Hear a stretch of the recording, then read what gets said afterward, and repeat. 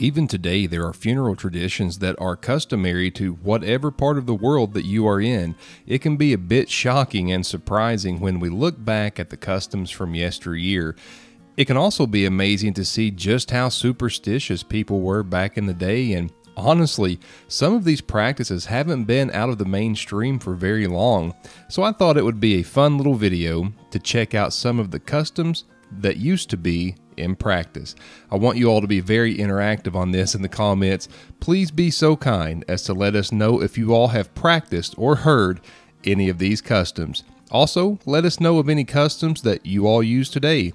I think that would be very interesting. Nowadays, for the most part, we use funeral homes. Even as cremations and other alternate burials become popular, most use funeral homes to help us process that. Back in the day, even though funeral home services assisted, the funerals and visitations were held in the homes of the deceased. It was a public affair. Once word began spreading through the community about the death, people began trickling to the home, and neighbors would bring food to the family. That actually still takes place in Kentucky, where I'm from, and that's mostly to take the burden of trying to prepare a meal away from the already huge plate of worries for the family. In addition to the house being used for the funeral, all drapes and shutters were closed, and a heavy black fabric would be attached to the doorknob or the door knocker. And the tradition of flowers, well, those were to cover up any unwanted stench. It was also taught that you never wear anything new to a funeral, especially shoes.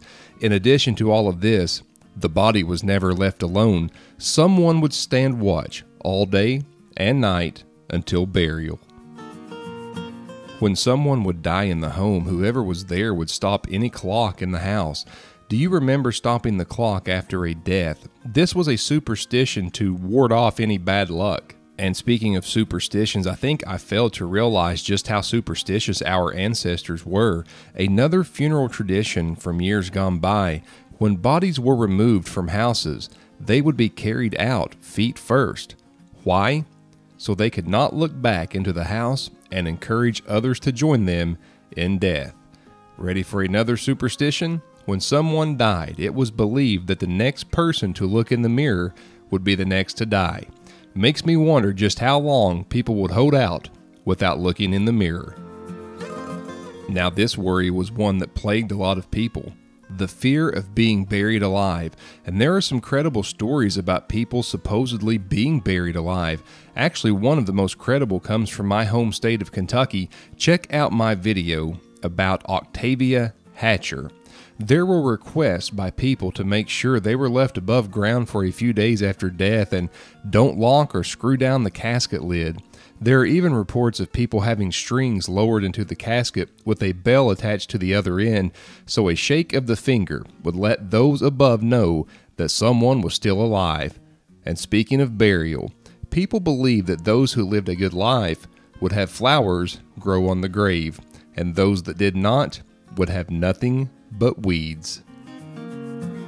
I plan to do more videos like this in the future, and if you all will leave me some traditions that you all either practice or may have heard of from yesteryear, they may be included in a future video. I love doing these types of videos. It gets people talking, and I love hearing from everybody.